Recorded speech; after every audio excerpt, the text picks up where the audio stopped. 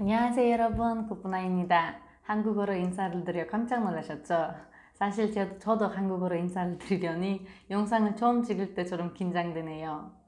오늘은 특별히 한국어로 인사드리는 이유는 제가 유튜브를 처음 시작했을 때부터 한국어를 가르쳐 주세요 라는 요청이 정말 많이 들어와서 몇몇 분들에게 개인 과외를 가르쳐 드리고 있긴 하지만 많은 분들에게 다 가르쳐 드리기에는 제 시간에 한계가 있기 때문에 이렇게 영상으로 많은 분들을 다 볼 수 있게 공유해 볼까 합니다. 사람마다 수준이 다르긴 하지만 그래도 제일 많이 궁금해 하시는 저급 기초 수준부터 해보려고 합니다.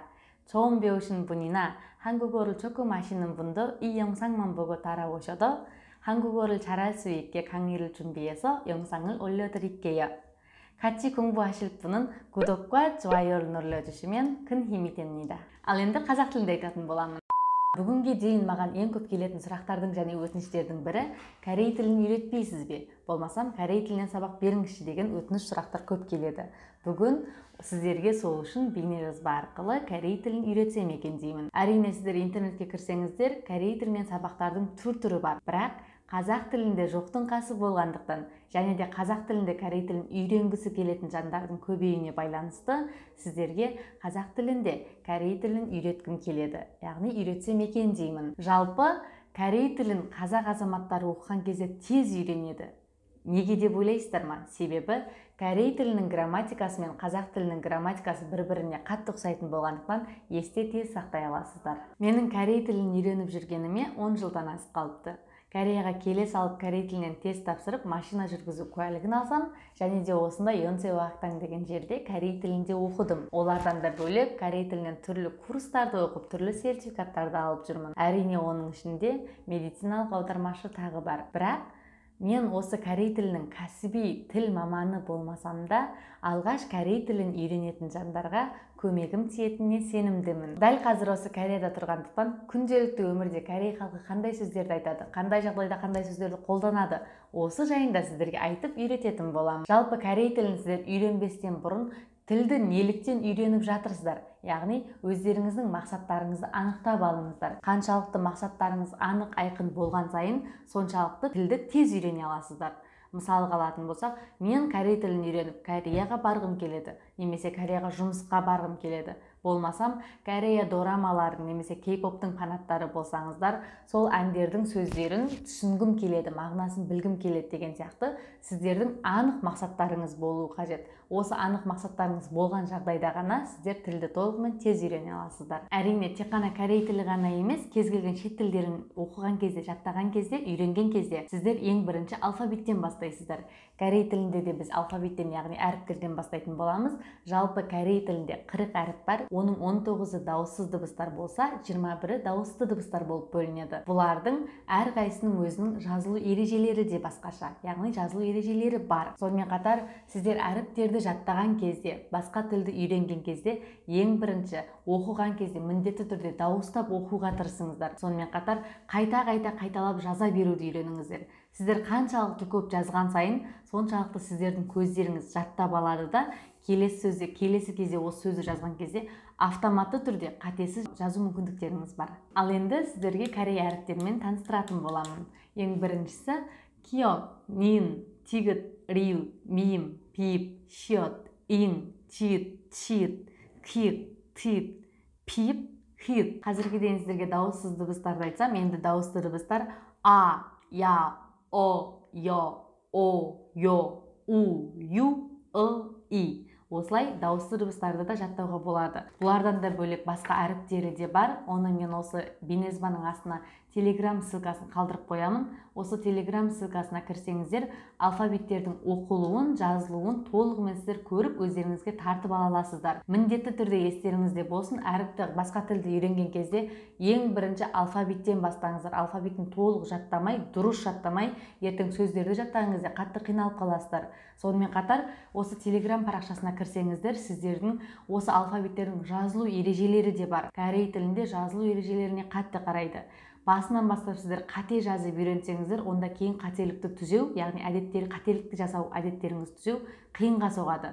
Сондықтан басынан бастап жазылу ережелерін толық қарап ереже бойынша жазсаңыздар екен деймін. Ал бұл алфавиттерді қайдан аламыз деп қорықпаңыздар астына телеграм ссылкасына міндетті түрде кіріп сол жерден алсаңыздар болады. Әріптерді жаттап жазулардың дұрыс ережесі бойынша жазып үйренсеңіздер онда ең бірінші тілді үйренген кезде қажет ол сәлемдесуден бастаймын. Қазір сәлемдесуді үйретіп болғаннан кейін бірінші сабақта тек қана сәлемдесулерді өтсек келесі сабақтарда әр жағдайға байланысты әртүрлі сөздіктерді өтетін боламыз. Мысалға асханада қонақ үйде немесе басқа да қазір бүгінгі біздің бірінші бейнежазбамыздың тақырыбы сәлемдесу. Ең бірінші сәлемдесуде аньоңасео деген кезде сіздер сәлеметсіз бе? деген сөз. Яғни өздеріңізден жоғары немесе сіз сіз деп атайтын жандардың барлығына аньоңасео деп атайсыз. Келесісі аньоң аньоң деген жай ғана сәлем деген сөз. Ол сіз сен деп айтатын немесе сізден кіші адамдарға аньоң деп айтсаңыз болады. Ал енді сау болыңызды қалай айтамыз? Аньоңи касео сіз орныңызда отырып кетіп бара жатқан адамға яғни кабинеттен шығып бара жатқан адамға аньоңи касео деп айтасыз. Ал сіз кабинеттен шығып бара жатып орнында қалған адамға аньоңи кесео деп айтасыз. Ал достарыңызға немесе өзінен кіші жайған адамдарға аньоң деп айтсаңыз болады. Ал енді рахметті қалай айтамыз?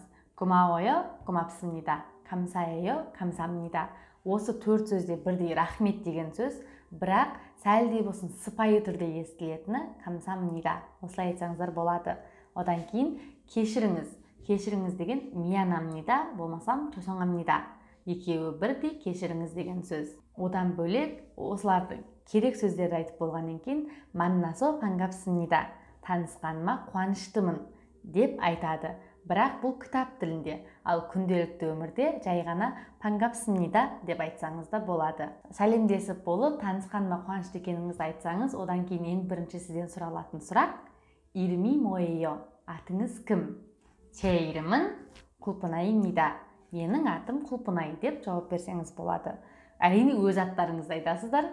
Одан кейін сіздің жасыңызды сұрайды яғни шиллежиман наига оттоке тешинайо деп сұраса айып етпесеңіз болмаса ренжімесеңіз жасыңыз қаншада деп сұрауы мүмкін.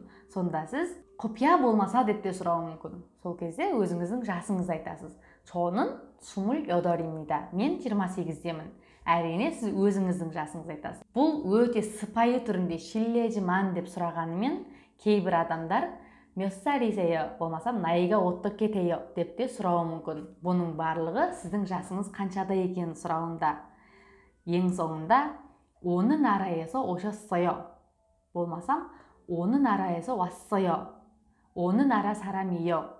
бұның барлығы сіз қай елдің азаматысыз қай елден келдіңіз деген сұрақтар сол кезде сіз жауап берсеңіз болады соның қазақстан сарамимнида мен қазақстан азаматымын деп жауап берсеңіз болады бүгін бірінші сабақ болғандықтан осылай қарапайым алфавитпен сәлемдесуді ғана айттым бұны міндетті түрде алфавитті сіздер өздеріңіз жаттауларыңыз керек. Оған сіздерге ешкім көмектесе алмайды. Алфавитті дұрыс жаттасаңыздар ғана бұдан былай болашақта корей тілінің басқа да сабақтарын грамматикаларын өткен кезде оңай болады. Оны естеріңізден шығармаңыздар.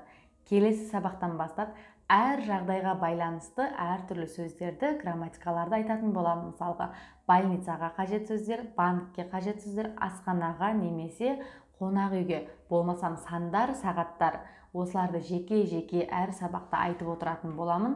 Сол үшін әріптер яғни алфавитті және олардың жазылу ережесін міндетті түрде өздеріңіз жаттасаңыздар екен деймін. Менің YouTube арқылы осы корей сабағын түсіруімнің бірден бір себебі егер сіздер болашақта кореяға келіп жатсаңыздар немесе корей азаматымен сөйлесіп жатсаңыздар еш қиналмай тез сөйлей алып тез үйренулеріңізге мен кішкентай болса да аз да болса да себепші болсам екен деген мақсатта осындай бейнежазбаларды түсіріп жатырмын. Корей еліне немесе тіліне деген сұрақтарыңыз болса осы бейнежазбаның астына пікірлеріңізді қалдырсаңыздар болмаса менің инстаграм парақшама келіп сұрақтарыңызды немесе пікірлеріңізді қойсаңыздар мүмкіндігім болғанынша сіздерге жауап беруге тырысамын. Бұдан да басқа маңызды ақпараттармен мәліметтерді білгілеріңіз келсе осы құлпынай тв каналына тіркелсеңіздер жақсы пайдалы кеңестер ала аласыздар. Тыңдағандарыңызға көп көп рахмет.